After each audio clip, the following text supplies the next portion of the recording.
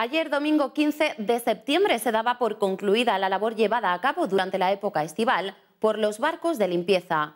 Estos han hecho un trabajo más que destacable durante dicho espacio de tiempo. Tal y como estaba previsto, el domingo finalizaba el servicio que han estado ofreciendo los barcos de limpieza durante todo el verano.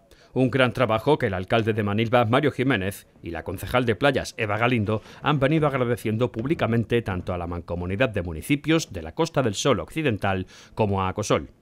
De lunes a domingo, en jornadas de mañana y tarde, estos profesionales han velado por mantener el litoral en buen estado, retirando toneladas de material desechable.